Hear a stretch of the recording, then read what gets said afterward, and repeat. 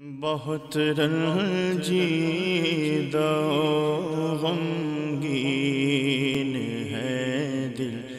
या रसूल अल्लाह करम कर दो कली दिल की, उठे खिल। या रसूल बलाओं मुझे समत से कुछ ऐसा घेरा है।